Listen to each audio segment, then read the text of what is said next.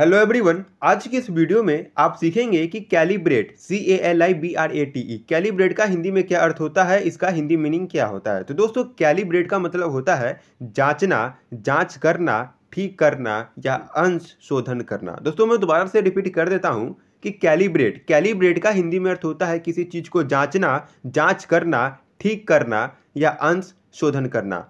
अब मान लीजिए दोस्तों, हमें इंग्लिश में बोलना हो इंग्लिश में कहना हो कि हमें सबसे पहले रेडियो सेट को सेट को जाँच करना चाहिए। हमें सबसे पहले रेडियो सेट को जाँच करना चाहिए। तो हम कहेंगे we should first calibrate the radio set we should first calibrate the radio set यानी कि हमें सबसे पहले रेडियो सेट का क्या करना चाहिए? तो जाँच करना चाहिए कैलिब्रेट करना चाहिए। तो दोस्तों, हम लोग सीख चुके हैं, जान चुके हैं, समझ चुके हैं कि कैलिब्रेट का हिंदी में अर्थ होता है किसी चीज़ को जांचना, जाँच करना, ठीक करना या उसमें अनुशोधन करना।